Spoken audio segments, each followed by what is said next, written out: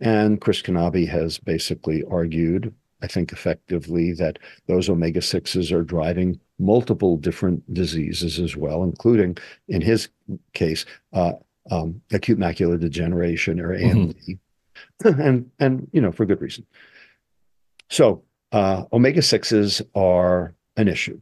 Mm-hmm. And, and, probably, if we just had to put put it in one sentence, the best way to reduce omega six intake is probably just to reduce processed foods generally. In general, yes, absolutely, because that's where they're hiding. And then finally, you asked about saturated fat. Yeah.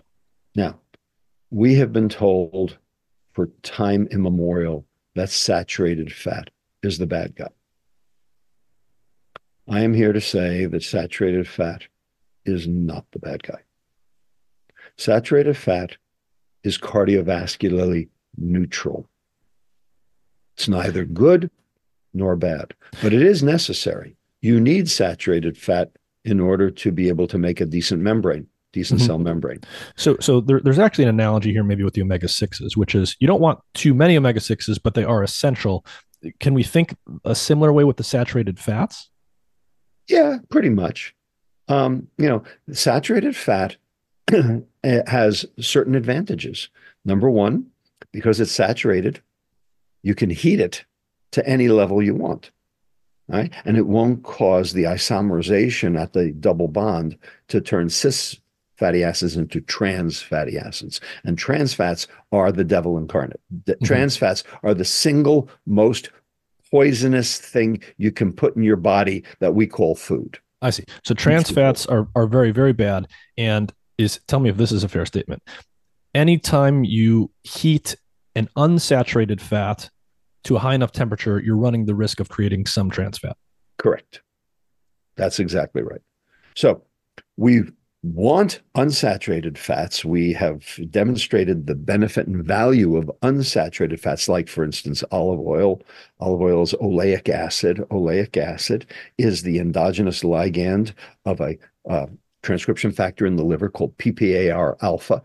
Peroxisome proliferation activated receptor alpha. It's one of the things that runs the liver. It's the fuel gauge on the liver cell.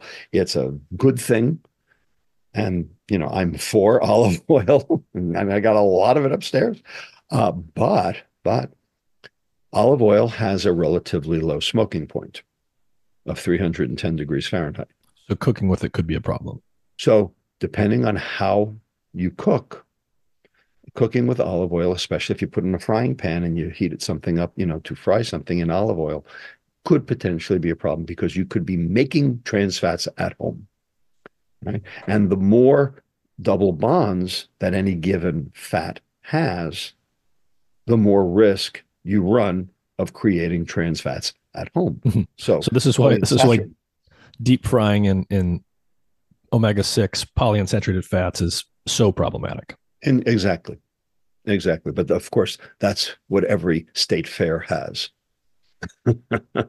so, what what are you going to do? so, the, so Saturated fat gets away from that. Saturated fat will not isomerize because there's nothing to isomerize. And the uh, smoking point of saturated fat is much higher, so you will not get into any trouble. Now, saturated fat got a bad rap because of all of this very bad epidemiology that was done back in the 1950s and 1960s. All right a guy named Ansel Keys, who's sort of famous in the literature. He was a hero, even appeared on the cover of Time magazine. Okay. And now he is a villain and has been appropriately vilified. he was the one who basically correlated saturated fat consumption with mortality mm-hmm. uh, due to cardiovascular disease back in the 1950s. However, when you look at the data, he cherry picked it. He cherry picked it. Okay. He published a volume, a, a very long volume, about an 800 page volume called The Seven Countries Study. Geez, I didn't know it was that big. Yeah, it's pretty big. And on page 262 of that volume, and I know because I took it out and I made, you know, like a slide of it. okay. He basically said that the reason that um, uh, sucrose, sugar consumption was associated with cardiovascular disease was because of the association of sucrose with saturated fat. In other words, donuts. Mm. And all the countries that he picked in his seven countries, even though there were 22, he picked the seven that made his case. The seven that um, uh, showed the highest incidence of mortality from cardiovascular disease were all donut eaters. And the countries that were not were not donut eaters. So it was obscuring uh, the story you told us earlier about fructose. exactly. Exactly. Those people were not just eating high saturated fat, they were also eating high sugar. And what he did was he basically dropped it out. Mm-hmm. Is it made it messy. I don't I don't want to spend too much more time on Ansel Keys because everyone's talked to death about him. Yeah. Is it established fairly well that he intentionally cherry picked this data? Well, intent is complicated, as we have learned in the last two years. Um, I'm not sure. I never asked him. Mm. I don't know that anyone ever asked him if he intended, but there were 22 countries, and when he published it, there were only 7 mm-hmm. We have the data on the other 15, and they don't fit.